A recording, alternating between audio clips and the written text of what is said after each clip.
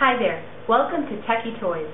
The purpose of this instructional video is to show you just how quick and easy it is to set up our Evil Cauldron Witch. The only items that you'll need to set up this product are one small screwdriver and four fresh AA batteries.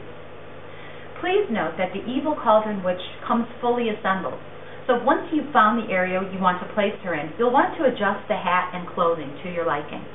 We do recommend that you find an indoor or outdoor sheltered area. If there's any inclement weather, such as wind, snow, or rain, we do recommend that you bring the product indoors.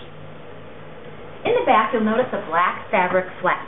This gives you access to the inside of the cauldron, where you'll find the battery compartment.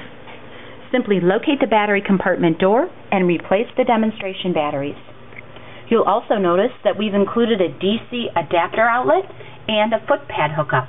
You can use an optional foot pad for additional activation or the DC adapter to save the life of your batteries. All you do is simply turn the product on, place it in the area you'd like it to go.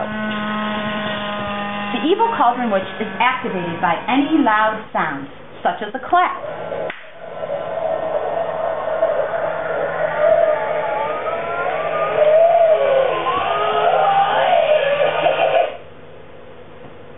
Additional information, please visit our website at www.tekkytoys.com.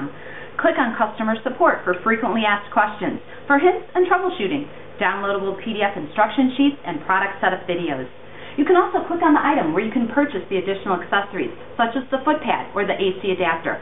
Thank you and happy haunting!